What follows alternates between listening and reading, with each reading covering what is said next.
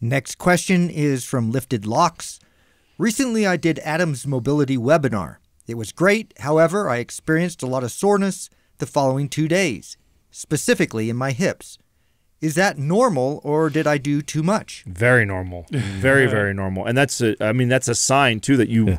you activated and worked a bunch of muscles that were very dormant. It was like a foreign animal. Yeah, and just think about that. You woke up uh, a bunch of muscles, got them sore without even having to do real any sort of major resistance. All intrinsic. Yeah. yeah, just you just you doing iso- isometric holds got you really sore, which just that is a sign that it was needed. Now you keep practicing that, and that'll eventually go away. You won't get sore, but this just so you know uh, that how normal this is. This happens to me when I get inconsistent with my mobility. Mm-hmm. If I fall, that's why it's a lifestyle. It's something that I have to, the 90 90, the combat stretch, the moves, the zone one, all these moves that I talk about that I love, I practice them all the time. And when I don't, because those times happen when I fall off the wagon for a week or two and just whatever, has haven't been doing my mobility drills, I pay for it.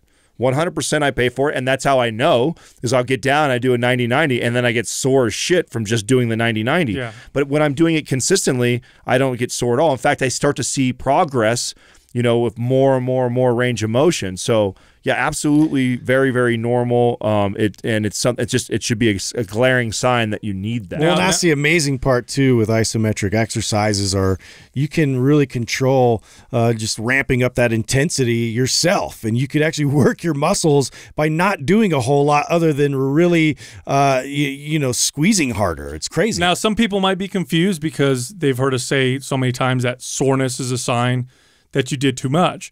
Now, this is different. You're not using resistance, there's not a lot of muscle damage. You're sore from connecting, which is very, very different. Like if I got sore from mobility versus sore from a heavy set of squats, the recovery is very, uh, very, very different. That being said, the soreness from mobility goes away pretty quickly. If you practice it, you know, once you learn how to connect, it it goes away. It actually goes away in a matter of weeks. just Oh, has to become familiar. You'll you'll feel it lighten up completely if you actually just get back down and do it again. yeah. So if you feel sore from that, that's where this is a little bit different than training with resistance is get down and do that stuff again within about 5 minutes of going through those drills. It should really relieve a lot of the soreness and tightness that you probably feel from doing it. But yeah, absolutely normal.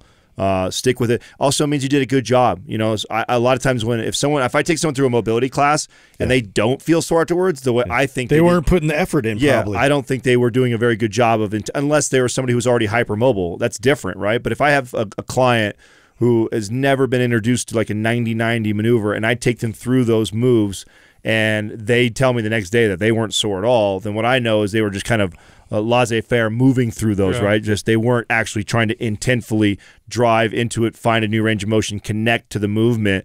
Uh, you obviously did. You did a good job.